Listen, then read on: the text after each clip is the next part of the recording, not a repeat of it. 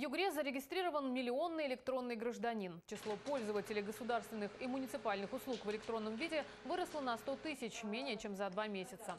Для югорчан работают более тысячи электронных услуг. Список постоянно расширяется.